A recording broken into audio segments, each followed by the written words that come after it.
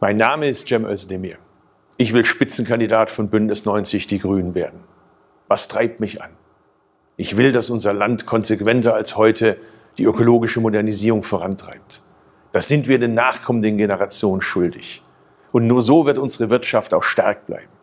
Ich will, dass jedes Kind und jeder Erwachsene in Deutschland eine faire Chance hat, seine eigenen Träume zu verwirklichen.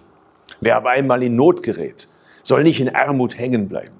Ich mache Politik, weil unsere Kinder in einem weltoffenen Deutschland und in einem solidarischen Europa aufwachsen sollen. Das heißt für mich, dass aus Ausländern Inländer werden, denen Deutschland und Europa zur Heimat wird.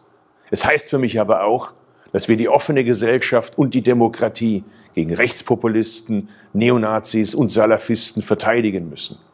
Mir geht es darum, dass wir mit einem entschlossenen, frischen Wahlkampf auch all diejenigen erreichen, die heute zwar grün ticken, aber uns noch nicht wählen. Denn ihre Unterstützung brauchen wir auch, damit die ökologische Modernisierung in einer künftigen Bundesregierung wieder eine starke Stimme hat. Dafür brauche ich eure Unterstützung bei der Urwahl.